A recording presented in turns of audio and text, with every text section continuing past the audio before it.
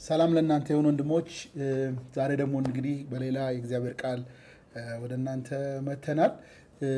ጌታ ይመስገን። ባለፈው ሳምንት ወይም ባለፉት ሶስት ሳምንታት የጀመርነውን ትምህርት ነው የምንቀጥለው። የትምህርታችን እየተማርን ያለነው ርዕስ መንፈሳዊ እድገትን እንደገና ማጤን የሚል ነው። እንደገና ማጤን፣ እንደገና ማሰብ ወይም መመርመር አለብን ብለን ነው የጀመርነው እና በባለፈው ሳምንት እንዳየነው ለመንፈሳዊ እድገታችን የእግዚአብሔር ድርሻ የአምላካችን ድርሻ ምንድን ነው ብለን ነበረ። መንፈሳዊ እድገት ስንጀምር እንዳልነው በእግዚአብሔርና በእኛ ትብብር በሕይወታችን የሚፈጠር ፍሬ ነው ብለን ነበረ እና መንፈሳዊ እድገት ከጌታ ጋር ያለን relationship ላይ መሰረታዊ በሆነ መንገድ በሱ ላይ የተመሰረተ ነው ብለን ባለፈው ሳምንት mystical ስለሆነው ዩኒየን በክርስቶስና በአማኞች መካከል በእኛና በክርስቶስ መካከል ስላለው ምስጢራዊ ውህደት ነበረ ያየነው። ጌታ አምላካችን ስሙ ይባረክ። እሱ ነው የመንፈሳዊ እድገታችን መሰረት። እሱ ነው የመንፈሳዊ እድገታችን መነሻ። ያለሱ really መንፈሳዊ እድገትን ማሰብ አይቻልም። መጀመሪያ ሰው ከክርስቶስ ጋር መዋሃድ አለበት። ተዋህዶ ብቻ ሳይሆን በዛው በውህደቱ መቆየት ደግሞ አለበት። በዛው በዳነበት ጸጋ ውስጥ መቆየት አለበት። በዳነበት ምሕረት ውስጥ መቆየት አለበት። በዳነበት ፍቅር መቆየት አለበት። ስለዚህ ጌታ ኢየሱስ በእኔ ኑሩ፣ በእኔ ካልኖራችሁ በቀር መፍራት አትችሉም ብቻ ሳይሆን በእኔ ኑሩ ብሎ በፍቅሬ ኑሩ ይላል። ፍቅሩ ደግሞ ወንጌሉ ነው። ፍቅሩ ደግሞ ምሕረቱ ነው። በክርስቶስ ኢየሱስ መስቀል የተሰራልን ስራ ነው። እዛ ውስጥ ስንቆይ ነው የምናፈራው ብለን እግዚአብሔር ልናፈራ የምንችልበትን አቅም ልናፈራ የምንችልበትን ህይወት already በእያንዳንዳችን ህይወት ውስጥ deposit አድርጓል። እየጨመረ በሚሄድ ሁኔታ ከኃጢአት ተጽዕኖ ነፃ የምንወጣበትን እየጨመረ በሚሄድ ሁኔታ ደስ የማይሉ ባህሪዎቻችንን እያሸነፍን የምንሄድበትን እየጨመረ በሚሄድ ሁኔታ ለእግዚአብሔር መንግስት ፍሬያማ እየሆንን የምንሄድበትን አቅም የሚሰጠንን ጉልበት የሚሰጠንን ህይወቱን already በውስጣችን አስቀምጧል ብለን ነበር የጀመርነው። ጌታ አምላካችን ስሙ ይባረክ። ዛሬ ደግሞ ከዚህ በዚህ መንፈሳዊ እድገት የአንደኛው ትምህርት መጨረሻችን ነው ማለት ይቻላል። መግቢያ የሆነውን የመንፈሳዊ እድገትን መግቢያ ትምህርት ነው ዛሬ የምንጨርሰው እና ዛሬ የምናየው የእኛ ድርሻ ታዲያ ምንድን ነው? ኮላቦሬቲቭ የሆነ ነገር ነው ካለን እኛ ከአምላካችን ውስጥ ሆነን ከእሱ ጋር በመገናኘታችን ከግንዱ ጋር በመኖራችን በህይወታችን የሚፈጠር ፍሬ ነው ካለን እድገት፣ ቅድስና የእኛ ድርሻ ታዲያ እሱ በምን መልኩ ነው የሚገለጠው የሚለውን ነገር ነው የምናየው ማለት ነው። ጌታ አምላካችን ስሙ ይባረክ። ግን አሁንም ደግሜ ስትረስ ማድረግ የምፈልገው ነገር ለመንፈሳዊ እድገታችን ለመቀደሳችን፣ ፍሬ ለማፍራታችን በዋናነት ከጌታ ጋር ያለን ህብረት ነው። እሱም ኢየሱስም ደግሞ ደግሞ ነው የተናገረው።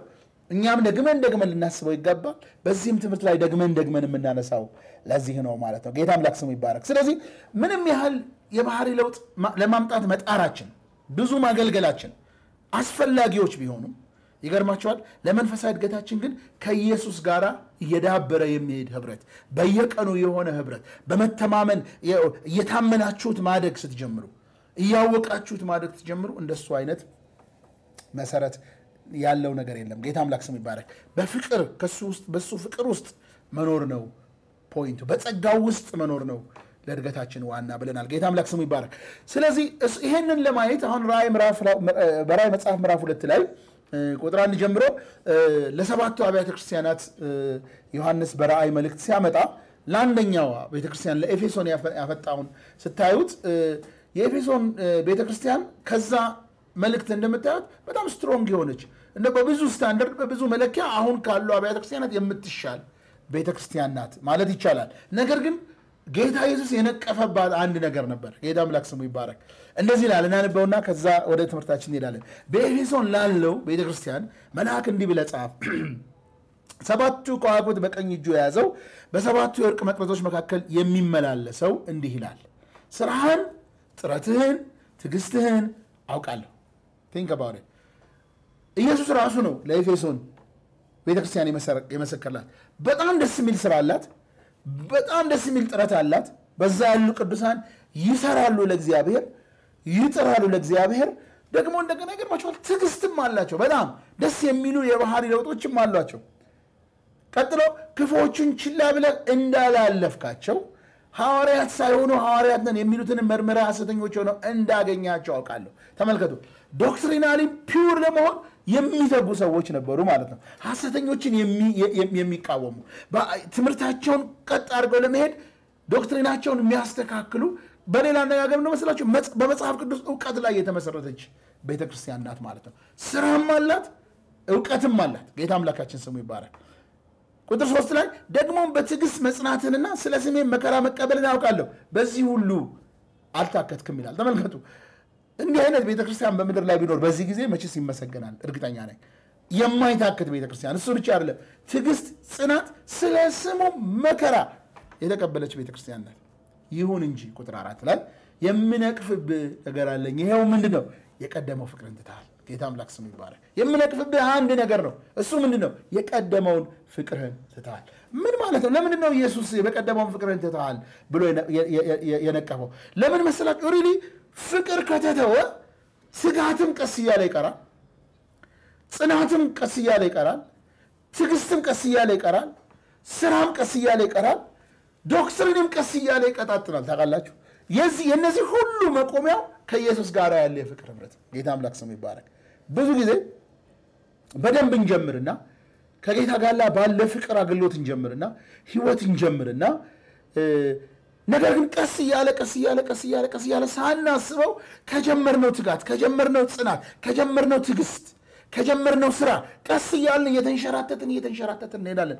እንደው በደንብ ካያችሁት በዚህ ቃል መሰረት መርምራችሁ ያ የሆነበት ምክንያት ምንድን ነው? አገልግሎታችን የቀጣጠነበት የድሮ ዚላችን፣ የድሮ ፍቅራችን፣ የድሮ ትዕግስታችን፣ የድሮ ትጋታችን የት ሄደ ብላችሁ ከጠየቃችሁ መልሱን የምናገኘው ዞረን ዞረን ከጌታ ጋር ያለን የፍቅር ህብረት ሲቀዘቅዝ ነው ማለት ነው። እሱን የሚተካ ምንም ነገር የለም ወገኖች። ከጌታ ጋር ያለ የፍቅርን ህይወት የሚተካ ምንም ነገር የለም። በየትኛውም ነገር ውስጥ ብትገቡ፣ አስቸጋሪ ነገር ውስጥ ብትሆኑ፣ ደስ የማይል ነገር ውስጥ ብታልፉ ከጌታ ጋር በፍቅር ካላችሁ ትወጣላችሁ። ጌታ አምላክ ስሙ ይባረክ። በጣም ግራ የሚያጋቡ ነገሮች ውስጥ ብታልፉ ማለት ነው። ከጌታ ጋር personally የምትተዋወቁ ከሆነ ከጌታ ጋር ህብረት ያላችሁ ከሆነ አትጠራጠሩ፣ ትወጣላችሁ። ጌታ አምላካችን ስሙ ይባረክ። በእያንዳንዳችን ህይወት ይኸው ነው። እኔ ወደ ጌታ ስመጣ የመጣንበት ጊዜ ያው revival ኢትዮጵያ ውስጥ revival የነበረበት ጊዜ ነው። ኤቲዎች በሰማንያዎቹ ማለት ነው። እና ብዙ ማንም አላስተማረንም። እኛ ከቤተክርስቲያን ነው ተባረን የወጣ ነው እና ብዙ የሚያስተምር ሰው አልነበረም። ትልቅ ሰው አልነበረም። በእድሜ እኛው ነበርን የነበር ነው እና ግን አንድ ነገር ነበረ የሚገርመኝ ነገር መጽሐፍ ቅዱስ የሆነ ዶክትሪናል የሆነ በጣም ብዙ የምናውቀው ነገር አልነበረም። የምናውቀው ግን ይገርማቸዋል የጌታ ፍቅር የምናውቀው የጌታ ፍቅር ነበረ። ጓዳችን ውስጥ የምናውቀው የጌታ ፍቅር ነበረ። ስናመልክ ከጌታ ጋር ያለን ህብረት ነበረ ወገኖች። ጌታ አምላካችን ስሙ ይባረክ። ስለ ጌታ ሳይሆን ቀድመን ያወቅነው ጌታን ራሱን ያወቅን ከጌታ ጋር ነው ህብረት የነበረን። ትናንሽ ልጆች የ14 ዓመት ልጆች ሳይቀሩ ማለት ነው ህብረታቸው ከጌታ ጋር ነበር። ጌታ አምላካችን ስሙ ይባረክ። እና ብዙዎቻችን ከዛ በኋላ በጣም ብዙ ነገር ውስጥ አልፈናል። ያልጠፋ ነው እኔ personal የራሴ ምስክርነት ብሰጥ ያልጠፋሁት ከጌታ ጋር እስካሁን ያለሁት ያን ጊዜ ያወቅኩት ጌታ በሄድኩበት ሁሉ አብሮ ስለነበረ ነው። ጌታ አምላካችን ስሙ ይባላል። እና እኔ ገና 24 ዓመት እያለኝ ነው ለትምህርት ወደ ውጭ ሄድኩት እና እዛ ዩኒቨርሲቲ ካምፓስ ውስጥ እግዚአብሔር አለ የለም የሚሉ ብዙ ሰዎች አሉ እና ክርክር ይጀመር ነበር እና የተለያየ አይነት ማስረጃ ያመጡልኝ ነበረ። scientific የሆነ proof ማለት እግዚአብሔር ላለመኖሩ እኔ ለምለው ነገር ላለመኖሩ እና አንዳንዱ የሚያሳምን ነገር ይመስላል እና ሰምቻቸው እኔ የምለውን ብዬ እነሱ በእውቀት ስለሚበልጡኝ እኔ መጽሐፍ ቅዱስንም ያን ጊዜ አሁን ያለኝን ያህል ስለማላውቅ ነበር። እቤቴ ሄጄ ግን assurance የሚሆነኝ ለምን ነው? እቤቴ ሲሄድ ያ በጓዳ የማውቀው ጌታ አለ። ታውቃላችሁ፣ ያ በጓዳ አብሮኝ የነበረ ጌታ አለ። ይሲ ከጌታ ጋር ያላችሁ ፍቅር ነው ከብዙ ነገር ውስጥ የሚያወጣችሁ። ጌታ አምላካችን ስሙ ይባረክ። ስለዚህ ወገኖቼ እንደው መንፈሳዊ ህይወታችሁ ድግግሞሽ ከሆነባችሁ አሰልችና ግራ የሚያጋባ ከሆነባችሁ በኃጢአት መታለል ሳትወዱ እየተለዋወሳችሁ በቃ መውጣት ካቃታችሁ ባህሪ መለወጥ ካቃታ ለረጅም ጊዜ የምትታገሉበት ነገር ካለ የመጀመሪያ ፍቅር ጠፍቶባችሁ የት ነው ማገኘው ብላችሁ በየቦታው እየሄዳችሁ ያላችሁ? አንዳንዶች ዞራችሁ ዞራችሁም ተስፋ የቆረጣችሁ። ክርስትና ስም ብቻ የሆነባችሁ አምልኮና ዝማሬ ስሜት አልሰጣችሁ ያለ በቃ ዝማሬ አምልኮ በቃ ምንም እንደው ዝም ብሎ በቃ ቆርቆሮ ከሆነብን አገልግሎት እንደው ከማንኛውም ስራ ልለይ ካለብን አይደል? እንደው እንደ ማንኛውም ሰራተኛ አይደል? ጠዋት ቢሮ ገብተን መውጣት መግባት አይደል? ምንም መንፈሳዊ ያልሆነ ነገር የቢሮ ስራ ብቻ ከሆነብን። ይሲ ከልቤ ነው የምላችሁ። ግራ መጋባት ውስጥ ካላችሁ እንደው ሌላው ምንም ነገር አይደለም ወደ ቀደመ ፍቅር መመለስ ነው። ጌታ አምላካችን ስሙ ይባረክ። ያንን ከጌታ ጋር ያለንን ህብረት እንደገና መለሰን ማጥበቅ ነው። ይኸውላችሁ ለእድገታችን ለጉልበታችን ለአቅማችን ለመቀጠላችን ለጽናታችን ለትዕግስታችን ሁሉ ከጌታ ጋር ያለን ህብረት እየጨመረ መሄዱ ነው ማለት ነው። አንዳንዶቻችን ደግሞ እንደሚገባኝ እንዲህ አይነት ልምምድ ጌታን ቃሉን ሰምታችሁት እርግጠኛ ሆናችሁ ወደ ጌታ መጣችኋል በቃ ወንጌሉ ትክክል እንደሆነ አምናችሁታል ድናችኋል። ነገር ግን እንደዚህ አይነት ልምምድ ከሌላችሁ ከጌታ ጋር የፍቅር ልምምድ ከሌላችሁ ይሲ የፍቅር ታሪክ ከሌላችሁ ከልቤ ነው ምላችሁ እውነት ገብቷችኋል? ግን ደግሞ ጌታን personally የሚሰማችሁን ያህል የማይሰማችሁ ከሆነ እኔ እኔ እንደው ጌታን ከማወቄ በፊት የራሴ ምስክርነት ብናገር በጌታ የሆነ አንድ ሰው የማውቀው ሰው ነበረ። ወንጌላዊ የሆነ ሰው ነው አንድ ቤተክርስቲያን ውስጥ። እና እሱ ጋር እንገናኝ ነበር እና cordial የሆነ relationship ነበረን። እኔ እኔ የነበርኩባት ቤተክርስቲያን ውስጥ መጽሐፍ ቅዱስ አስተምር ነበር እማር ነበር እዛ ነው ያደግኩት Sunday school ነው ያደግኩት። እና መጽሐፍ ቅዱስ አውቃለሁ ብዬ አስባለሁ። እሱ መጽሐፍ ቅዱስ ያውቃልና ስንገናኝ አንድ ቀን እኔ አንድ ቀን እሱ ነው ወንጌል ቃል የምናካፍለው። እና አሁን የቃል እውቀት በእውነት ለመናገር ከሆነ ነበረን ያን ጊዜ ግን ከእሱ ይዤው የምሄደው የነበረው ነገር ስለ እግዚአብሔር ሲያወራ እግዚአብሔር ለሱ personal ነው። ኢየሱስ ለሱ personal ነው። እኔ ደግሞ የሆነ በሰማይ ያለ እና የሆነ ህጎች የሰጠና ምን ማድረግ እሱን ነው ማወራው ብዙ ጊዜ እሱን ነበር ማወራው እና ወደ ቤቴ ስሄድ ሁል ጊዜ ይዤ የምሄደው ጥያቄ እሱ ግን እንደዛ ሊያውቀው የቻለ እኔ ያላወቅኩት ለምንድን ነው ነበር? ጌታ አምላክ ስሙ ይባረክ እና እኔ እንዴት አላውቀውም? አንዳንድ ልምምዶችን ሲያወራ እቀና ነበር። አንዳንድ ነገሮችን ሳይ ሄጄ ቤቴ እጸልይ ነበር። ይገርማችኋል እሱ እንደሚያውቅ ነው ማወቅ የምፈልገው። ጴንጤ መሆን አልፈልግም ምንም ጥያቄ የለውም። ነገር ግን እሱ እንደሚያውቅ ነው ማወቅ የምፈልግ ነበር። ምን ለማለት ፈልጌ ነው? ጌታን አውቃችሁት? በቃሉ በደንብ ተረድታችሁት? ወደ ጌታ መጥታችኋል። ልምምድ ከሌለ ግን ጌታን ማወቅ ከሌለ ግን የፍቅር ህብረት ከሌለ ግን ከሌላቸው ግን really እስኪ ጌታን እንደዚህ ነው ማወቅ የምፈልግ። fake አይደለም ወገኖች ሰዎች ከጌታ ጋር ያላቸው ነው። አሁን fake የሆነ ነገር ብዙ ስለበዛ real ና fake ኡን መለየት አስቸጋሪ ሆኖ ሊሆን ይችላል። real መሆኑን የምታውቁት እሱን ጠይቃችሁ ከራሱ ከእሱ የምትቀበሉት ጌታ አምላክ ስሙ ይባረክ እሱን ጠይቃችሁት። እኔ እንደዛ ጠይቅ ነበር። personal የራሴን ነገር አንስቼ እኔ እንደዚህ ነው ማወቅ ምፈልግ ጸሎቴ እንደዚህ ነው መሆን እንዲሆን ምፈልገውን ነበር። እና ከሱ ነው የተቀበልኩ ብዬ አስባለሁ። ሌላ ሰው አላስተማረኝም ሌላ ሰው አላሳየንም። የእኛ ቤተክርስቲያን ታሪክ ብትመለከቱ ሌላ ሰው ማንም እንዲህ ነው እንደዛ ነው የምታደርጉ አላለንም። ራሱ ጌታ ተገኝቶ ነው ወደ የሚያግዙን ሰዎች ቢኖሩም ግን ጌታ ተገኝቶ ነው መንፈሳዊ ነገር ያለማመደን ጌታ አምላካችን ስሙ ይባረክ። ስለዚህ እንደው እኔ የማደፋፍራችሁ ለእኔም አባቴ ሆይ ብላችሁ ጸልዩ። ለእኔም እግዚአብሔር ሆይ እንደገና እስኪ ከአንተ ጋር የፍቅር ህብረት ማለት ምን ማለት ነው? ይህንን only intellectual የሆነ ብቻ ሳይሆን yes intellect ኣችን አስፈላጊ ነው። አንዳንድ ጊዜ ያለ intellect ኣችን ልምምድ ይዞን ይጠፋል። ያለ እውቀት ማለት ነው።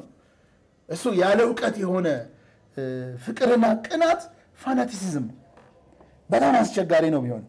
እንደገና ደግሞ ይገርማችኋል እውቀት ብቻ ሆኖ ደግሞ ልምምድ ከሌለ እሱ ደግሞ በጣም አስቸጋሪ ደረቅነት ነው። ስለዚህ በእውቀት የሆነው ነገር ደግሞ እስኪ እግዚአብሔር በህይወታችሁ እንዲሰራ ልጠይቁት ይገባል ማለት ነው። ጌታ አምላካችን ስሙ ይባረክ። ስለዚህ ወደ ዛሬው ትምህርታችን ይህን እንደ መግቢያ ካልኩኝ ስንሄድ ለማደጋችን ለመቀደሳችን የእኛ ድርሻ አለበት። የቅድስና የእድገት ሂደታችን እኛ ከእግዚአብሔር ጋር ከጌታ ከኢየሱስ ጋር ተጣብቀን የምንኖረው ነው። ከሱ ጋር ኖረን ነው ብለናል። ግን እንዴት ነው የምንኖረው ማለት ነው? በእኔ ኑሩ ሲባል እንዴት ነው? በእኔ ኑሩ እኮ ድርሻ ነው ትእዛዝ ነው አይደል? ጌታ አይደለም በሱ የሚያኖረን። እኛ ነው ኑሩ የተባልነው የእኛ ድርሻ አለው ማለት ነው። የእኛ contribution አለው ማለት ነው። ሁሉን ነገር እሱ ሊሰራልን አይችልም። እሱ ሁሉን ነገር ሰጥቶናል አይደል? የሚያስፈልገን ሁሉ ሰጥተዋል እኛ ደግሞ ኑሩ ቆዩ እዛው ተብለን። እንዴት ነው ግን በዚህ ህይወት ውስጥ የምንቆየው እንዴት ነው ግን በዚህ ኃይል ውስጥ የምንቆየው? በዚህ ጸጋ ውስጥ የምንቆየው እንዴት ነው? በምን መልኩ የእኛን ድርሻ የምንወጣው? ዲሲፕሊኖች ምንድን ናቸው? የእኛን ድርሻ እንድንወጣ የሚያደርጉን ዲሲፕሊኖች ምንድን ናቸው? ለመንፈሳዊ እድገት ሁለቱም አስፈላጊዎች ናቸው ብለናል። ባለፈው ጊዜ አይተነዋል። የእኛም የጌታም ድርሻ ልክ እንደ አውሮፕላን ሁለት ክንፎች ማለት ነው። በአንድ ክንፍ መብረር እንደማይችለው ሁሉ በጌታ ብቻ ላይ ተደግፎ መሄድ አይቻልም። የእኛ ድርሻ ያስፈልገዋል። የእኛ ጥረትን ብቻ የትም አያደርስም። የጌታ ድርሻ ያስፈልገዋል ማለት ነው። ጌታ አምላካችን ስሙ ይባረክ። ስለዚህ ለሰው ይሄ ይገርማቸዋል። ከጌታ ጋር ለንብረት አሁን ቅድም ሳወራው የነበረው የፍቅር ህብረታችን ለሰው የማይታወቅ የግላችን ብቻ ይሆናል። አንዳንድ ሰው እኔ ከጌታ ጋር ጠፋ ስትሉት እኔ ከጌታ ጋር ሰላም ነኝ ይላል። ግን እንደሱ ብሎ ነገር የለም። ባይዘው ለሰው የማይታወቅ የእኛ ብቻ የሆነ መንፈሳዊ እድገት የለም። ጌታ አምላካችን ስሙ ይባላል። የሚገለጥ ነገር አለ። ከጌታ ጋር ያለን የፍቅርና የመተማመን ሂደት በባዶ ሜዳ በቫኪዩም የሚሆን ነገር በልባችን ብቻ የሚዳብር ነገር አይደለም። ጌታ አምላካችን ስሙ ይባረክ። ለማደግ ስንፈልግ መገለጫዎች አሉት። ስለዚህ ነው ኢየሱስ በዮሐንስ ወንጌል ምዕራፍ 15 ላይ አሁን ባየነው ላይ መርሆዎችን አስቀምጠዋል። በሱ ለመኖር የሚያስፈልጉ መርሆዎች፣ በሱ ለመቆየት የሚያስፈልጉን መርሆዎች፣ በሌላ አነጋገር የጸጋ መቀበያ ምንጮች እንላቸዋለን። ወይም ደግሞ means of grace የምንላቸው ማለት ነው። means ናቸው የምንቀበልባቸው፣ ጸጋ የምናገኝባቸው፣ በሱ ውስጥ ለመኖር የምንጠቀምባቸው means ኦች ናቸው። እነዚህ መርሆዎች ነው ዛሬ እኔና እናንተ የምናየው ማለት ነው። ጌታ አምላክ ስሙ ይባረክ። አንድ አራት ዲሲፕሊኖች ነው የምናየው። እስኪ ቃሉ እናንብና እንጀምራለን። ዮሐንስ ወንጌል ምዕራፍ 15 ቁጥር 1 ጀምሮ እውነተኛው የወይን አትክልት እኔ ነኝ፣ አትክልተኛው አባቴ ነው። እርሱም በእኔ ያለውን የማያፈራውን ቅርንጫፍ ሁሉ ይቆርጠዋል፣ ይጥለዋል። ፍሬ የሚያፈራውን ቅርንጫፍ ሁሉ ግን የበለጠ እንዲያፈራ ይገርዘዋል። ከነገርኳችሁ ቃል የተነሳ እናንተ አሁን ንጹሐን ናችሁ፣ በእኔ ኑሩ፣ እኔም በእናንተ እኖራለሁ። ቅርንጫፍ በወይኑ ግንድ ካልሆነ በቀር ብቻውን ፍሬ ሊያፈራ አይችልም። እናንተም በእኔ ካልኖራችሁ በቀር ፍሬ ልታፈሩ አትችሉም። እኔ የወይን አትክልት ነኝ፣ እናንተም ቅርንጫፎች ናቸው። ማንም በእኔ ቢኖር እኔም በእርሱ ብኖር እርሱ ብዙ ፍሬ ያፈራል። ያለ እኔ ምንም ልታደርጉ አትችሉምና በእኔ የማይኖር ተጥሎ እንደሚደርቅ ቅርንጫፍ ነው። እንዲህ ያሉ ቅርንጫፎች ተለቅመው ወደ እሳት ይጣላሉ፣ ይቃጠላሉ። በእኔ ብትኖሩ ቃሎቼም በእናንተ ቢኖሩ የምትፈልጉትን ማናቸውንም ነገር ለምኑ ይሰጣችኋል። ብዙ ፍሬ በማፍራት ደቀ መዛሙርት የመሆናችሁ የምትገልጡ በዚህ አባቴ ይከበራል። ጌታ አምላክ ስሙ ይባረክ። የመጀመሪያው የመጀመሪያው ዲስፕሊን በመንፈሳዊ ነገር ለማደግ ለመቀረጽ የእግዚአብሔር ቃል እውቀት ምትክ የሌለው ነገር ነው። የመጀመሪያው ዲስፕሊን ከእግዚአብሔር ቃል ጋር መታወቅ አለብን። ካለ እግዚአብሔር ቃል እውቀት ተመልከቱ። የስብከት እውቀት አይደለም የምናገረው። አንዳንድ ሰው የሰው ስብከት መድገም ይችላል። ቁጭ ብላችሁ ብትሰሙ ሊደግም ይችላል ሰው። አንዳንድ ሰው ደግሞ ከስብከት ውስጥ ቀልዱን ብቻ ነው አስታውሰው የሚሄደው። እሱን ማለት አይደለም። really ግን ከእግዚአብሔር ቃል ጋር ራሳችንን familiarize ማድረግ የእግዚአብሔርን ቃል ማንበብና መረዳት መመርመር የቃሉ ተማሪዎች መሆን። እንደው እንደኔ እንደኔ እንደው ክርስቲያን የክርስቲያን መገለጫ አንድ መገለጫ ስጠኝ ብትሉ ክርስቲያን የቃሉ ተማሪ ነው። በማንኛውም ጊዜ ቢሆን። ለምን? የእግዚአብሔር ቃል ማለት የእግዚአብሔር ሀሳብ ማለት ነው ጌታ አምላካችን ስሙ ይባረክ የቃሉ diligent የሆነ ተማሪ ካልሆነ really መንፈሳዊ እድገት የሚባለው ነገር አላስፈላጊ ነው። በፍጹም ለመንፈሳዊ እድገት የእግዚአብሔር ቃል ከሚባለው በላይ ብዙ ተብሏል ስለ እግዚአብሔር ቃል አስብ አውቃለሁ። ግን really ማደግ ከፈለጋችሁ really ከመጽሐፍ ቅዱሳችሁ ጋር ልትተዋወቁ ይገባል። መጽሐፍ ቅዱሳችሁን እያሰመራችሁ እያያችሁ devotional የሆነ የሚያነቃቃ ስብከት ብቻ ሳይሆን መጽሐፍ ቅዱሱን ጥልቅ ብሎ እየመረመሩ መገንዘብ ይጠይቃል። የግድ ይላል። ጌታ አምላካችን ስሙ ይባረክ። ይሲ የተጻፈውን ማንበብ አለ፣ የተሰበከውን መስማት አለ። ሁለት የተለያዩ ነገሮች ናቸው። የተሰበከውን ይላችሁ የምናስተምረውና የምንሰብከው ሰዎች ወደ መጽሐፍ ቅዱስ ሄደው dig እንዲያደርጉ ነው እንጂ መጽሐፍ ቅዱስ ማንበባቸውን substitute እንዲያደርግ አይደለም። እንዲተካ በፍጹም ሊሆን አይችልም። ኢየሱስ ባስተማረበት ጊዜ ህዝቡን ሲያስተምር ቃሉ እንደምታዩት እንደዚህና እንደዚህ ተብሎ እንደተጻፈ ሰምታችኋል ይላል። ቃሉን ያነበቡትን ጸሐፍትን ሲያስተምር ግን እንዲህ እንደተባለ እንዲህ ተብሎ እንደተጻፈ ሰምታችኋል ይላል። ጌታ አምላካችን ስሙ ይባረክ። ይሲ የሚሰማ አለ፣ የሚያነብ ደግሞ አለ። የምናነብ ሰዎች ነው የምንሆነው። ተመልከቱ። እኔና እናንተ ደግሞ ማንበብ የምንችል ሰዎች ነን። አሁን ብዙዎቻችን ማንበብ እንችላለን። ማንበብ መጻፍ የምንችል ሰዎች ነን። የእግዚአብሔር ቃል ደግሞ በቃላቶች አይደል? የእግዚአብሔር ሀሳብ በቃላቶች ተጽፈው በመጽሐፍ ቅዱስ መልክ በፊታችን ቀርቧል። ዛሬ ዲጂታል የሆነ ብዙ ነገር አለ። ስለዚህ የእግዚአብሔር ቃል መሰረታዊ በሆነ መንገድ ለሁላችንም አስፈላጊ ነው። ቁጥር ሰባት ላይ እዚሁ ያነበብነው ክፍል ላይ በእኔ ብትኖሩ ቃሎቼም በእናንተ ቢኖሩ ይላል። በእኔ ብትኖሩ አለ think ትና ባለፈው ሳምንት ስናብራራ በሱ መኖር ማለት ጌታን መቀበል ነው ብለናል። አንድ እርሱ በእኛ መኖር ማለት ደግሞ በመንፈስ ቅዱስ አማካኝነት ነው ብለናል። በመንፈስ ቅዱስ አማካኝነት ብቻ ሳይሆን በዚህ ቃል መሰረት ደግሞ ቃሎቼ በእናንተ ውስጥ ቢኖረዋል። ቃሎቼ ማለት ተሸምድደው ማለት አይደለም፣ ሀሳቤ በእናንተ ውስጥ ቢኖር ማለት ነው። ጌታን እጅግ አድርጌ አመሰግናለሁ። የምትፈልጉትን ለምን እሰጣችኋል አለ። ያለ ቃሉ እውቀት ከጌታ ጋር ያለንን የፍቅር ህይወት ማዳበር አንችልም። ጌታን መውደድም በጣም አደገኛ አዳጋች ነው የሚሆነው። ይሲ ወደ ጌታ ስንመጣ ሁላችንም የራሳችንን ግምት፣ የራሳችን አስተሳሰብ፣ የራሳችን መለኪያ፣ የራሳችን እይታ፣ የራሳችንን መነጽር ከማህበረሰቡ፣ ከአስተዳደጋችን፣ ከወላጆቻችን አይደል ከዚህ ሁሉ ከዘመኑ ይዘ ነው የመጣን የራሳችን መለኪያ አለን፣ የራሳችን አመለካከት አለን፣ የራሳችን አስተሳሰቦች ይዘን ነው የምንመጣው። ወደ ጌታ ስንመጣ ግን ሌላ አዲስ ዓለም ነው ወገኖች፣ አዲስ የሆነ ዓለም ነው። ስለ እያንዳንዱ ነገር የራሳችን አስተሳሰብ ይዘን ከመጣም በኋላ በመንፈስ ቅዱስ ማደግ ማለት በድነታችን ማደግ ማለት እየጨመረ በሚሄድ ሁኔታ የራሳችንን አመለካከት እየሰረዝን በጌታ አመለካከት መተካት ማለት ነው። በጌታ አስተሳሰብ መለካት ማለት ነው። ጌታ አምላካችን ስሙ ይባረክ። አስተሳሰባችን ቀስ በቀስ መለወጥ አለበት ማለት ነው። በኢሳያስ 55 ቁጥር 8 ላይ ህዝቤ ምን ይላል? ሀሳቤ እንደ ሀሳባችሁ መንገዴም እንደ መንገዳችሁ አይደለምና ይላል። ሀሳቤ እንደ ሀሳባችሁ መንገዴም እንደ መንገዳችሁ አይደለም። እንዴት ነው ታዲያ? የእግዚአብሔር ሀሳብ ቤት ነው፣ የኛ ሀሳብ ቤት ነው። ቁጥር ዘጠኝ ሰማይ ከምድር ከፍ እንደሚል መንገድም ከመንገዳችሁ ሀሳብም ከሀሳባችሁ እንዲህ ከፍ ያለ ነው። የእግዚአብሔር ሀሳብ ከኛ ሀሳብ ከፍ ያለ ነው። የእግዚአብሔር መንገድ ከኛ ሀሳብ ከኛ መንገድ ከፍ ያለ ነው። ጌታ አምላካችን ስሙ ይባረክ። ስለዚህ ስንመጣ የእግዚአብሔር ሀሳብ እዚህ ነው፣ እኛ እዚህ ነው ያለ ነው። እድገት ማለት ወደ እግዚአብሔር ሀሳብ ምን ማለት ነው? ማደግ ማለት ነው። ቀስ በቀስ ወደ እግዚአብሔር ሀሳብ ማደግ። ሀሳባችን ወደ እግዚአብሔር እያደገ ሲመጣ መንገዳችንም፣ ባህሪያችንም፣ ልምምዳችንም፣ ነገሮቻችንም አብረው ወደ እግዚአብሔር እያደጉ ይመጣሉ ማለት ነው። ስለዚህ እንዴት ይሁን ይሁላችሁ እዛው ቦታ ላይ አሁን ያነበብነው ክፍል ላይ ሀሳቤ ከሀሳባችሁ መንገዳችሁ ከመንገድ ከፍ ያለ ነው ብሎ ታዲያ ምን ላድርግ ብሎ እግዚአብሔር ሲጠይቅ ቁጥር አስር ላይ ምን አለ? በቀጥታ የሚያመለክተው ስለ እግዚአብሔር ቃል ነው።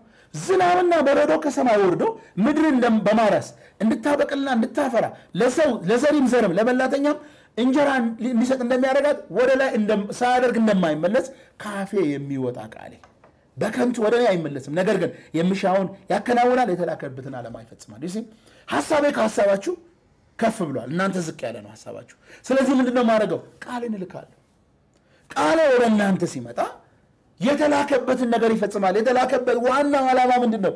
የእግዚአብሔር ቃሉ ማለት የእግዚአብሔር ሀሳብ ነው ማለት ነው። ስለዚህ ሀሳባችንን ወደ እግዚአብሔር ሀሳብ ማሳደግ ማለት ነው። ሀሳባችንን ወደ እሱ ቀስ በቀስ ማሳደግ ነው ማለት ነው። ስለዚህ የእግዚአብሔር ቃል ከሌለ ሀሳባችን ወደ እግዚአብሔር ሀሳብ ሊያደግ አይችልም። ክርስትና በዋናነት world view ነው። ዓለምን እንዴት እንደምናየው እንደ በዋናነት ካያችሁት world view ነው። ሁላችንም ወደ እግዚአብሔር ስንመጣ ዓለምን ቢሆን ጌታን የማያውቀው አሁን ጌታን የማያውቁ ሰዎች እንደው ጌታን የማያውቁ ስላችሁ ጌታን የማይወዱ ማለት አይደለም። ግን መጽሐፍ ቅዱስ በሚለው መንገድ ጌታን የማያውቁት ሰዎች የራሳቸው reason አላቸው፣ የራሳቸው argument አላቸው፣ የራሳቸው ክርክር አላቸው። ሁላችንም ደግሞ ለመቀደስም እንኳን ከጌታ ጋር ለመሄድ የራሳችን argument አለን። ሀሳባችን ነው መጀመሪያ የሚቀደሰው። ለዚህ ነው እኮ ሀሳባችን ነው መቀደስ ያለበት የሚባለው። በሮሜ ምዕራፍ 12 ላይ ጳውሎስ የሚለው በሀሳባችሁ መታደስ ተለወጡ የሚለው really ሀሳባችን ነው መጀመሪያ ሊለወጥና አዲስ የሚሆን ከዛ በኋላ ነው መንገዳችን የሚከተለው። ሀሳባችን ሲለወጥ መንገዳችንም አብሮ ይመጣል ማለት ነው። ስለዚህ ተመልከቱ፣ ሀሳባችንን ደግሞ ወደ እግዚአብሔር ሀሳብ እንድናስሸጋግር ከተፈለገ የእግዚአብሔር ሀሳብ የሆነውን የእግዚአብሔርን ቃል እውቀት ልንወስደው ይገባል ማለት ነው። ጌታ አምላካችን ስሙ ይባረክ። ስለዚህ የእግዚአብሔር ቃል እውቀት በውስጣችን ከሌለ ጌታን መምሰልና ማደግ የሚባለው ነገር አይሆንም። ስለዚህ በዋናነት እንደው በዋናነት እኔና እናንተ የቃሉ ተማሪዎች ነው መሆን ያለብን። የቃሉ መርማሪዎች፣ የቃሉ አፍቃሪዎች ልንሆን ይገባል ማለት ነው። ጌታ አምላካችን ስሙ ይባረክ። ስለዚህ ወደ ሀሳቡ ለማደግ ከፈለግን በዚህ መንገድ ነው ማለት ነው። ጌታ አምላካችን ስሙ ይባረክ። የእግዚአብሔር ዓላማ ቀስ በቀስ ሀሳባችን ወደ ሀሳቡ ማሳደግ ነው። በሰው አእምሮ ውስጥ ያለው ነገር እግዚአብሔር እንዳንታዘዝ የሚከለክለን ነገር እንዳናድግ የሚከለክለን እኮ ነገር የራሳችን imagination ነው፣ የራሳችን አስተሳሰብ ነው፣ የራሳችን ስታንዳርድ፣ የራሳችን እይታ ነው። ጳውሎስ በቆሮንቶስ ላይ የሚለው ማለት ነው አይደል? በእግዚአብሔር እውቀት ላይ የሚነሳው ከፍ ያለው ሀሳብ ከፍ ያለ ምክር ምሽግ ነው ይላል።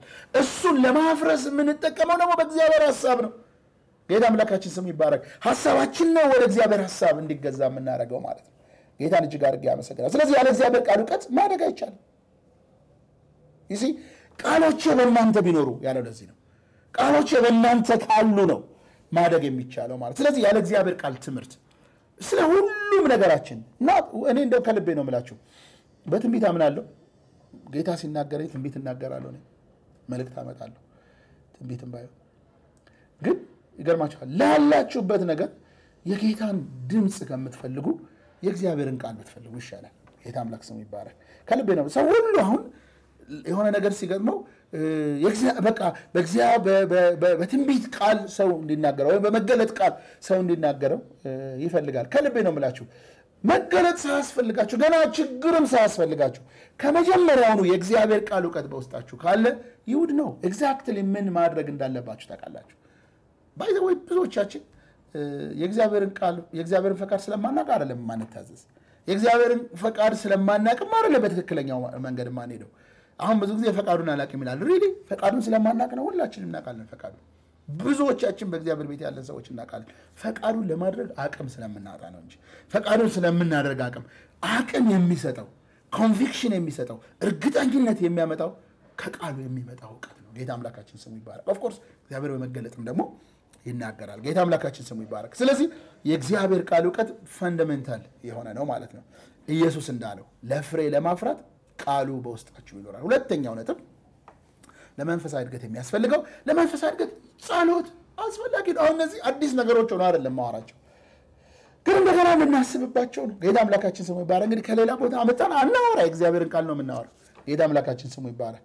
የእግዚአብሔር ቃል ጸሎት አስፈላጊ ነው ይላል። እንዴ ስለ ጸሎት ምን ያወራናል እንዳትሉ ብዬ ነው።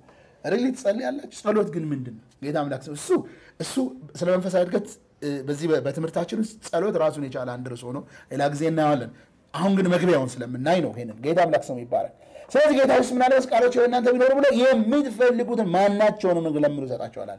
ይህ እኮ በጣም ከባድ dangerous የሆነ proposition ነው አይደለ? የምትፈልጉትን ማናቸውንም ነገር ለምኑ። ጌታ አምላካችን ስሙ ይባረክና ብዙ ሰው እዚህ ጋር ነው ከልቡ excited የሚሆነው ማለት የምትፈልጉትን ማናቸው blank check ማለት አይደል? ፈርሞ በጣም ሀብታም የሆነ ሰው እናንተ አንድ ሰው ገምቱ ቼኩ ላይ ፈርሞ እዚህ ጋር ቁጥሩን እናንተ ሙሉ ብሎ መስጠት ማለት ነው። ግን እንደ አጋጣሚ ነው ብዙ ሰዎች ያችን ወስደው የራሳቸውን figure እየሞሉ ባንክ ሲሄዱ አልዘረዝርላቸው ብሎ ብዙዎች ተቸግረዋል። አይደል?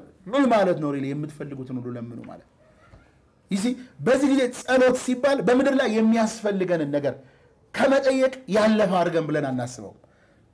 በምድር ላይ እውነት ነው። በምድር ላይ የሚያስፈልገን ነገር እንድንጠይቅ ጌታ ተናግሮናል። ጌታ ቃል ሰጥቶናል። ጌታ አምላካችን ስሙ ይባረክ። ስለዚህ ማንንም ሰው በምድር ላይ የሚያስፈልገውን ነገር ከመጠየቅ discourage ማድረግ አንችልም። ግን really ጸሎት እሱ ብቻ ግን አይደለም። ጌታ አምላካችን ስሙ ይባረክ። ምንም ስህተት ባይኖረውም በምድር ላይ ስላለው ነገር መጠየቅ ግን ይገርማችኋል፣ ልዩነት አለ። በዚህ ምድር ላይ የሚያስፈልገንን ነገር እንጠይቃለን። ስንጠይቅ ግን መጠየቅ ያለብን ቃሉም እንደሚለው እንደ ፈቃዱ ነው። ፈቃድ ቢሆን ብለን ነው የምንጠይቀው። አሜን። በምድር ላይ ያለው ነገር ሁሉ ፈቃድ አለ። ሁሉ ቢፈቀድም ሁሉ ደግሞ አይጠቅምማ። እንደ አባት የማይጠቅመውን ነገር አይሰጥማ።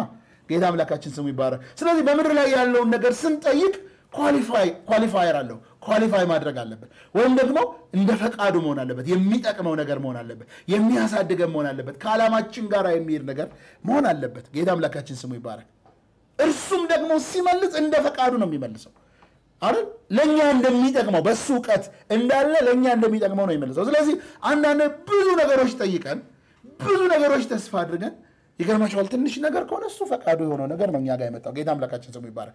አንዳንድ ጊዜ ጸሎታችን በእግዚአብሔር ኃይል ላይ ብቻ አይደለም መመስረት ያለበት፣ በእግዚአብሔር የማድረግ ችሎታ ላይ ብቻ ሳይሆን በእግዚአብሔር ፈቃድም ላይ ጭምር ነው። በተለይ እንደ ክርስቲያኖች እኔና እናንተ በእግዚአብሔር ፈቃድ ነው ሄዳን ነው፣ በእግዚአብሔር ኃይል ብቻ አይደለም። በእግዚአብሔር ፈቃድ ሄዳን ሰዎች ነን። ስለዚህ የእግዚአብሔር ኃይል ብቻ ሳይሆን የእግዚአብሔር ፈቃድ ጭምር አይደል? ኢየሱስ በጌተሰማኔ አድነኝ አለ። ማዳን ስለማይችል ነው እግዚአብሔር ያድናል እኮ ኢየሱስም ያውቃል። ይሄንን ግን ፈቃድ ይሆናል። የእግዚአብሔር ኃይል በፈቃዱ ውስጥ ነው ተጠቅሎ። የእግዚአብሔር ኃይል በጣም ሰፊ ነው። ፈቃዷ ግን ፈቃዱ ግን ጠባብ ናት። ለእኛ የምትጠቅም ሆና ነው ሁሉ ስለማይጠቅም ማለት ነው። ስለዚህ በስጋዊ ነገር ለምንጠይቃቸው ነገሮች ሁሉ እነዚህ ሁሉ ነገሮች አሉ። ነገር ግን ለመንፈሳዊ እድገታችን ፍሬ ለማፍራታችን የምንጠይቀው ጥያቄ ግን ይገርማችኋል፣ ያለምንም ጥርጥር የእግዚአብሔር ፈቃድ ነው። ጌታ አምላክ ስሙ ይባረክ። እግዚአብሔር የማይመልሰው እግዚአብሔር የማያልፈው እርግጠኛ የሆነ ጥያቄ ነው። ጌታ አምላክ ስሙ ይባረክ። የማይመለስ ጥያቄ የለም። by the way በእድገት ዙሪያ ላይ ጌታን በመምሰል ዙሪያ ላይ በማፍራት ዙሪያ ላይ የማይመለስ ነገር የለም። of course አንድ ሕፃን ልጅ ዛሬ የተወለደ ልጅ ጌታ ሆይ 30 ዓመት አድርገኝ ብሎ ቢጸልይ 30 ዓመት ሊሆን አይችልም። ምንም ጥያቄ የለው። እንደዚሁ ማለት ነው። በጌታም ሰው ያለ ሰው ዛሬ ወደ ጌታ የመጣ ሰው እስኪ እንደው በሚቀጥለው ዓመት እንደው የሆነ መንፈሳዊ እድገት እዚህ ጋር ይድረስ ይባል እሱ ላይሆን ይችላል። ቀስ በቀስ ነው የሚታደገው ማለት ነው። ነገር ግን በእግዚአብሔር መንፈስ ውስጥ ያለ ጥያቄ ወይም ደግሞ በእድገት ውስጥ ያለ በማፍራት ውስጥ ያለ ጥያቄ ግን የማይመለስ ጥያቄ የለም። ጌታ አምላክ ስም ይባረክ። የምትፈልጉትን ነገር ማናቸውንም ለምኑ የተባለው ከፍሬ ጋር ተገናኝቶ ነው።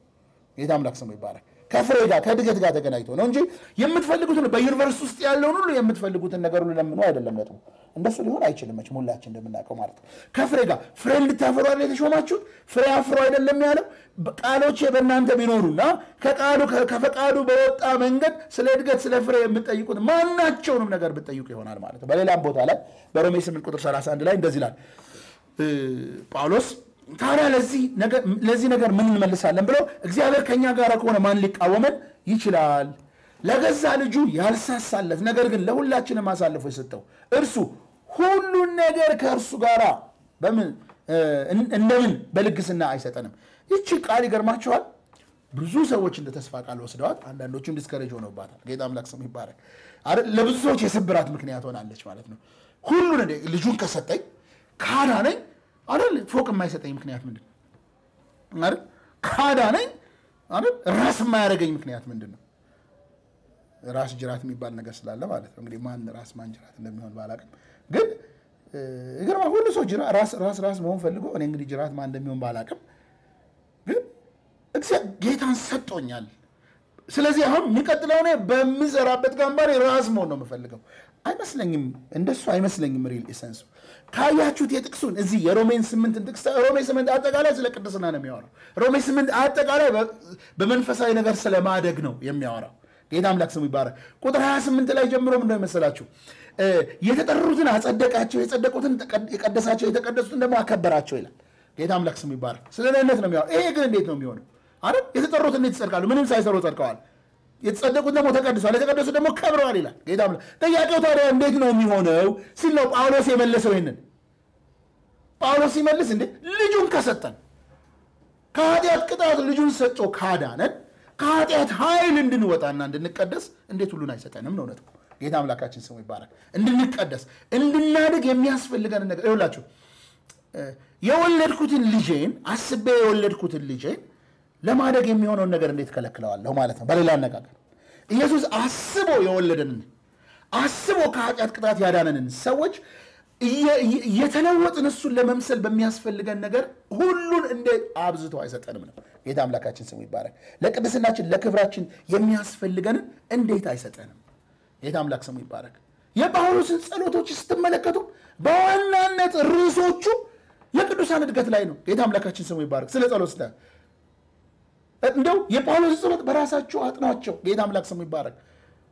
ቅዱሳን የዳኑ የዳኑ ቅዱሳን ጌታን አምነው የዳኑ ሰዎች የዳኑበትን እውነት እንዲያውቁት አይኖቻቸው እንዲበሩ በፍቅር እንዲተጉ እምነታቸው እንዲያድግ ለተጠሩለት ዓላማ እንዲኖሩ በዋናነት ጸሎት ውስጥ አይኖቻችሁ ተገልጾ ክብሩን የመጥራቱን ተስፋ የክብሩን ባለጸግነት እንድታውቁ ከሁሉ በላይ የሆን ለእኛ የሆነውን ኃይሉን እንድታውቁ በፍቅር እንድትተጉ በፍቅር እንድታድጉ ለምናለሁ ይላል ጌታ አምላካችን ስሙ ይባረክ። ስለዚህ የጳውሎስ ጸሎቱ ይሄ ነው። የሚመለሰውም ጸሎት ይሄ ነው። ጌታ ማለት ይሁን እዚህ ጋር ሌላ ነገር መጸለይ አያስፈልግም ማለት አይደለም። ጌታ አምላክ ስሙ ይባረክ። ግን ጌታ እንድናድግ ይፈልጋል። ጌታ እንድናድግ መፈለጉ ብቻ ፈቃደ በቂ አይደለም። እኛም ደግሞ ጸጋን እንዲሰጠን ልንጠይቀው ይገባል ማለት ነው። ጸሎት ጌታ እንድናድግ መፈለጉ ብቻ በቂ አይደለም። የእኛ ድርሻ እኛም ደግሞ ያን ልንፈልገው ይገባል ማለት ነው። ጌታ አምላካችን ስሙ ይባላል። ይሲ ጸሎታችን ብዙውን ከጸሎታችን ብዙውን ክፍል የሚይዘው የትኛው ነው አይደለ? you see እምነታችሁና ስለ እግዚአብሔር ያለን አመለካከት በጸሎታችን ይታወቃል። ያው የሰውን ጸሎት record ጸሎታችሁን record አድርጋችሁ ብትሰሙት ስለ እግዚአብሔር ያላችሁ እይታ፣ ስለ ህይወታችሁ ያላችሁ እይታ አይደል priority ያችሁ፣ ቅደም ተከተላችሁ ሁሉ በጸሎታችሁ ይታወቃል። ጌታ አምላክ ስሙ ይባረክ። ስብከት ላይ የምለው ነገር አይደለም። እኔ በህይወቴ ስላለው priority የሚናገረው ስብከት ላይ የማወራው ጉዳይ አይደለም። በህይወቴ ስላለው priority የሚናገረው በጓዳ የምጸልየው ጸሎት ነው። you see አሁን የዳዊት ጸሎት record ተደርጓል። የዳዊት ጸሎቶችን ስታዩ ዳዊት exactly ምን አይነት ሰው እንደሆነ እናውቃለን። ከብዙ ሰዎች ይልቅ የዳዊትን ህይወት መርምረን እናውቀዋለን። ይገርማችኋል። ለምን ጸሎቶቹ record ተደርጓል። በጓዳ ያሉት frustration ኦቹ የሚጨነቅባቸው የሚቸገርባቸው ነገሮች ሁሉ ከዚህ የተነሳ አንዳንድ አንዳንድ ክርስቲያን የሆኑ psychologist ኦችም psychiatrist ኦች ዳዊት እንዳውም bipolar disorder ነበረበት ይላሉ። ለምን በአንዱ ምዕራፍ ላይ በአንዱ ምዕራፍ ላይ አንዳንዴ ወደ ላይ ይሄዳል አይደል? በቃ ወደ ላይ ወደ ላይ ሄዶ ከእግዚአብሔር ጋር ያለውን ነገር በሌላው ጊዜ ደግሞ በቃ በእኔና በሞት መካከል አንድ እርምጃ ቀረ ይላል። ስለዚህ ይሄ ሰውዬ አንዴ በጣም bipolar ማለት በጣም depressed የሚሆን በተወሰነ ጊዜ ደግሞ በጣም manic የሚሆን ማለት ነው። በጣም excited የሚሆን ሰው ማለት ነው። ይሄ ሁሉ judgement በዳዊት ላይ የመጣበት ምክንያት ጸሎቱን ስለሰማ ነው። የእኛ ጸሎት ግን ቢሰማ ምን እንደሚሆን አላውቅም። ምናልባት ስኪዞፍሬኒያ ሊሆን ይችላል። የኛ ደግሞ እሱ ባዮፖላር ከተባለ ማለት ነው። እስከ መቼ እስከ መቼ ነው ዝም የምትለኝ? እስከ መቼ ነው እንደዚህ እንደዚህ ይላል። ከዛ ደግሞ ተነስቶ ይህንን ሁሉ እኮ ያልኩት ወደ መቅደስ ገብቼ የእግዚአብሔርን ክብር እስካይ ድረስ ነው። የእግዚአብሔር ክብር እንደተለወጠ ያሰብኩት በጣም አዝኛለሁ። የእግዚአብሔር ክብር እንደተለወጠ ማሰበ ይላል። ጳውሎስም ተመልከቱ። የጳውሎስን ደግሞ ህይወቱን የምናውቀው ጸሎቶችን መመልከት ነው። ጳውሎስ ለራሱ የጸለየው በፊልጵስዩስ ላይ የሚላል መሰላችሁ የሚያስገርም ነገር ነው። ጌታን የማወቅ drive የህይወቱ drive የህይወቱ ዋና ነገር ጌታን ማወቅ ጌታን ማገልገል ብቻ አይደለም፣ ጌታን አውቆት ማገልገል ነበር እና አንዴ ምን አለ መሰላችሁ ቢሆንልኝ አለ ጌታን ለማወቅ ስለምፈልግ ቢሆንልኝ በሞቱ እንኳ ልመስለው እፈልጋለሁ I want to die exactly like ይህም ማለት ጌታ አምላካችን ምን ማለት መሰላችሁ የጌታን ፍቅር አውቀው ዘንድ በሞቱ እንኳ ያለውን pain ማወቄ እሱን ማወቄ ነው አለ። ጌታ አምላካችን ስሙ ይባረክ። ጸሎታችን ይገርማችኋል ስለ እግዚአብሔርም ስለ ህይወታችንም ስለ priority ያችንም ያለውን ነገር ይገልጻል ማለት ነው። ስለዚህ ጸሎታችሁ ጌታ ሆይ ብቻ ስጠኝ ብቻ አሜን፣ list ብቻ አንድ ሁለት ሶስት አራት አምስት በኢየሱስ ስም አሜን ከሆነ really ስለ ራሳችን ስለ እግዚአብሔርም ከእግዚአብሔር ጋር ስላለ relationship የምናውቀው በጣም የተለየ ነው። ንቀለው ብቻ ከሆነ አይደል ራስ አድርገኝ ብቻ ከሆነ ስለ ጌታ ያላቸው አመለካከት በጣም አስቸጋሪ ሁኔታ ውስጥ ያለው ማለት ነው። ልወቅህስ? አይደል ልውደድህስ፣ ላገልግልህስ፣ ፍቅርህን ልወቀውስ፣ የዋህነትን አስተምረኝ፣ ቸርነትን አስተምረኝ፣ ይቅር ማለትን አስተምረኝ፣ እውነተኝነትን አስተምረኝ፣ ደግነትን አስተምረኝ፣ መስጠትን አስተምረኝስ። እንደዚህ ብሎ የሚጸልይ ሰው እኮ የለም አሁን አይደል እምነቴን ለሰው እንዳካፍል ኢየሱስ የሞተለትን ዓላማ ለሌሎች እንድናገር ኢየሱስ የሞተለትን ዓላማ ለተወሰኑ ሰዎች ብቻ ሆኖ እንዳይቀር ኢየሱስ የሰጠኝን ኃላፊነት እንድወጣ ሰዎችን በእግዚአብሔር ቃል እንዳስተምር ጌታ አምላካችን ስሙ ይባረክ። እንደዚህ አይነት ጸሎት ካልጸለይ ለማደግ የሚሆን ጸሎት መጸለይ ማለት ነው። እንደዚህ አይነት ጸሎቶች ናቸው ለመንፈሳዊ እድገታችን አስፈላጊ ነው። ጌታ አምላካችን ስሙ ይባረክ። ወደ ጌታ እንደመጣን አንድ ወንድም ነበርና ሲጸልይ ጌታ ፍቅር በደም ስር ይግባ ብሎ ይጸልይ ነበር። ጌታ አምላክ ስሙ ይባረክ። እንግዲህ ፍቅር እንዴት ነው በደም ስር እንደሚገባ ባላውቅም የእግዚአብሔር ፍቅር ግን exactly point ኡን ይገባዋል ጌታ። ጌታ አምላክ ስሙ ይባረክ። No you ፍቅሬ በውስጥ ይምጣ ማለት ነው። ጌታ አምላካችን ስሙ ይባረክ። የጌታ ቅናት እንደ ቅንቅን በላኝ ይላል ነብዩ አይደል? ምን ማለት ነው? በቃ አስምሌት ሆነዋል ማለት ነው አይደል? የጌታ ፍቅር it's everything for me ማለት ነው። ጌታ አምላካችን ስሙ ይባረክ። ስለዚህ እንደዚህ አይነት ጸሎቶችን እናዳብር ወገኖች። ከደካከማችሁ let's go back to this ወገኖች፣ let's really go back to that ጌታን እጅግ አድርጌ አመሰግናለሁ። ሶስተኛው ዲሲፕሊን ለመንፈሳዊ እድገት የመታዘዝ አስፈላጊነት አሁን ይኸውላችሁ ብዙ ስለ ጸጋ ስላወራን ብዙ እግዚአብሔር ስላደረገልን ነገር ስላወራን የረሳነው ነገር አለ። የረሳነው ነገር ምንድን መሰላችሁ? መታዘዝ እንዲሁ በአየር ላይ ያለ ነገር ይመስላችኋል። ግን ይገርማችኋል። እኔና እናንተ ለመታዘዝ ባሪያዎች ልንሆን ነው ጌታን ያቀበልነው የተቀበልነው። ጌታ ለኃጢአት ባሪያዎች አይደላችሁም ይላል ሮሜ ላይ ጳውሎስ። ግን ለመታዘዝ የጽድቅ ባሪያዎች ናቸው ይላል። ጌታ አምላክ ስሙ ይባላል። ለመታዘዝ ግን በፍቅር የምንታዘዝበት motive ነው እንጂ የሚለየው የምንታዘዝበት ምክንያት ነው የሚለየው እንጂ እኔና እናንተ ይገርማችኋል። ለጌታ መለኮታዊ ቃል ሳይታዘዙ ጌታን ማወቅ የለም። አሜን። የጌታን መለኮታዊ ቃል ሳያከብሩ በሱ ህይወት ላለመሄድ ሳይታዘዙ ይገርማችኋል። ጌታ ማወቅ ያለ ከጌታ ጋር የሚዋሃድ ነገር ካልኖር ማለት ቁጥር አስር ላይ እኔ የአባቴን ትእዛዝ ጠብቄ በፍቅሩ እንደምኖር እናንተም ትእዛዜን ብትጠብቁ በፍቅሬ ትኖራላችሁ አለ። Think የፍቅር መገለጫው እኮ ድርጊት ነው። ጌታ አምላክ ስሙ ይባረክ። አንድን ነገር በጣም እንደምትወዱት የምታውቁት እኮ ልትከፍሉለት የምትችሉት ዋጋ ሲበዛ ነው። ትልቅ ልትከፍሉት የምትፈልጉት ዋጋ ትልቅ ከሆነ really ፍቅራችሁም ትልቅ ነው ማለት ነው። የፍቅር መገለጫው መታዘዝ ነው። ኢየሱስ እንደዛ ነው ያለው። አባቴን እወደዋለሁ አለ። አባቴን የምወደው ታዝዤው ነው አለ አይደል? ከሰማያ ሰማያት ወርዶ እኮ ነው መለኮታዊ ነገሩን ትቶ ለአባቱ ታዝዞ ለእኛ ባለው ፍቅር ወደ ምድር መምጣቱ ነው አባቴን እወደዋለሁ እንዲያለ ያሰኘው። ስለዚህ እኔ ታዝዤው አባቴን ደግሞ እናንተ ብትታዝዙኝ በፍቅሬ ትኖራላችሁ አለ። ጌታ አምላካችን ስሙ ይባላል። ሃሌሉያ። እኔና እናንተም ኢየሱስ በአባቱ ፍቅር ኖሮ ታዞት እንደሚኖር እኔና እናንተም እንደዛ ማለት ተመልከቱ። አውቶማቲክ የሆኑ መታዘዞችን አይደለም የማወራው እዚህ አውቶማቲክ የሆኑ መታዘዞች አሉ። ብዙ ጊዜ በተለይ በጌታ ቤት የቆየን ሰዎች በፍጹም ምን አይነት ባህሪያዊ ችግር አለብኝ ብለን አናስብም። የማሻሽለው ባህሪ ምንድን ነው? እንደ ዳዊት መርምረኝ ብለን አንጠይቅም። አውቶማቲክ የሆኑ የምንታዘዛቸው ያስቀመጥናቸው ነገሮች አሉ የተወሰኑ የተወሰኑ ለምሳሌ አንዳንዶቻችን በአስራታችን ታማኞች ነን። በቃ ያችን ከዛ ውጭ ሌላ ነገር ሰው እንዲጠይቀን አንፈልግም። አንዳንዶቻችን church በመምጣት ዋና ነን። ግልጽ ነው ሀሳቡ። የሆኑ ነገሮች አውቶማቲክ የምናደርገው የጠዋት ጸሎት አትቀርም። በቃ ብርቅቅ ብሎ 15 ደቂቃ ሳይንበረከክ አይወጣም። አንዳንድ ሰው መጥፎ ነው እያልኩ አይደለም። እሱ ከዚህ ሌላ ነገር የለም። በሳምንት አንድ ቀን የሚጾምም ሰው ይኖራል። It's okay። ግን ያቺ ብቻ ስትሆን አትችልም። በሳምንት አንድ ቀን ጾሞ ሰው እየቀማኛ ቢሆንስ? በሳምንት አንድ ቀን እየጾመ ተሳዳቢ ቢሆንስ? አሜተኛ ቢሆንስ? በሳምንት አንድ ቀን እየጾመ ነገር ግን ኃይለኛ ለሰው የማይታዘዝ ቢሆንስ? ንፉግ ቢሆንስ? ምን ለማለት ፈልጌ ነው? የማናስነካቸው ነገሮች መኖር የለም። እንደ auto pilot አይደለም መታዘዝ። የሆኑ ነገሮች እናደርጋለን። ሰው የሚያውቃቸው ነገሮች አሉ። Okay፣ አንጠጣም፣ አናጨስም፣ አንቅምም፣ that's it አለቀ። እንደሱ አይነት መታዘዝ አይደለም እዚህ ጋር ማወራው። dynamic የሆነ መታዘዝ ከመንፈሱ ጋር አብሮ በመሄድ በየቀኑ በውስጣችን ያለውን ባህሪ ጌታ እንዲገልጽልን እያየን progressive በሆነ መንገድ ጌታን የመምሰል መታዘዝ ማለት ነው። ጌታ አምላካችን ስሙ ይባረክ። ሃሌሉያ። ስለዚህ የሆነ ነገር ስላላደረግን በዛ ልንኩራራ አይገባም። really dynamic በሆነ መንገድ ለዚህ ከሆነ ሰው አሁን የእግዚአብሔር ቃል ሲያስተምር ሰው ይሰለቸዋል። ሰው ለምንድን ነው መሰላችሁ? really ለመታዘዝ ፈቃደኛ ካልሆነ የእግዚአብሔር ቃል ለምን እንሰማለን? እንዳውም የምንሰማው የሚያነቃቁ ሰው ለምን ችግራችን አሁን በዋና ችግራችን ብለን የምናስበው አለመነቃቃታችን ነው እንጂ አለመለወጣችን አይደለም፣ አለማደጋችን አይደለም። ስለዚህ solid የሆነ የእግዚአብሔር ቃል የሚያስተምሩ ሰዎችን መታገዝ ይከብደናል። ጌታ አምላካችን ስሙ ይባረክ። ለምን ለመታዘዝ በቃ I think መታዘዝ የምችለው ድረስ ታዝዣለሁ፣ መሄድ የምችለው ድረስ ሄጃለሁ። ከዚህ በኋላ ግን ንቅንቅ አልልም። I am done, I am done ድኛለሁ። ጌታን አመሰግናለሁ። ጥሩ ልብስ እየለበስኩ አምልኮ እመጣለሁ፣ አስራቴን እሰጣለሁ። That's it ከዛ ያለፈ ነገር ግን ብዙ አትጠይቁኝ ማለት ነው። ጌታ አምላካችን ስሙ ይባረክ። ስለዚህ መታዘዝ ስንል really dynamic በሆነ መንገድ ከጌታ መንፈስ ጋር ኖረን ጌታ የሚፈልገውን ነገር ማድረግ ማለት ነው። ጌታ አምላካችን ስሙ ይባረክ። ይኸውላችሁ መታዘዛችን ግን የሚያመጣ ነው። አንዳንዶቻችን ደግሞ ስንታዘዝ ከእግዚአብሔር የሆነ ነገር ለመቀበል ፈልገን ገንዘባችንን ስንሰጥ ከሆነ ነገር ከእግዚአብሔር ደግሞ የሆነች ነገር እንደ እኛ የሆነ ነገር እናደርጋለን፣ እሱ ደግሞ የሆነ ነገር እንዲያደርግልን ፈልገን ነው። በፍጹም እንደሱ አይደለም። ጌታ አምላካችን ስሙ ይባረክ። ጌታን የምንታዘዘው ስለምንወደው ነው፣ ስላደረገልን ነው እንጂ እንዲያደርግልን ፈልገን መሆን የለበትም።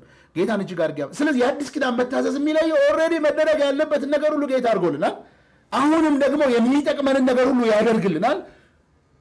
ግን ምንም መታዘዜ እንዲያደርግልኝና እንዳያደርግልኝ መሆን የለበትም። ጌታ አምላካችን ስሙ ይባላል። የሆነ ነገር ፍለጋ መሆን የለበትም።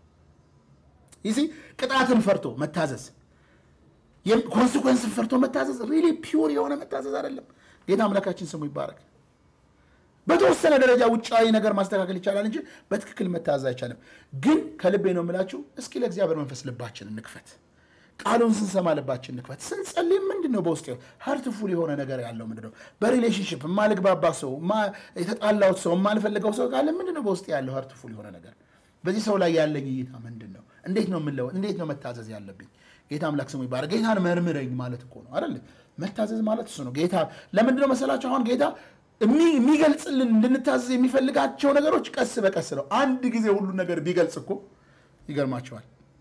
ማናችንም መቆማችንም ግን ቀስ በቀስ ነው። ጌታ ቀስ በቀስ ይመራናል ማለት ነው። አራተኛው ለመንፈሳዊ እድገት ህብረት አስፈላጊ ነው። ጌታ አምላክ ስሙ ይባረክ።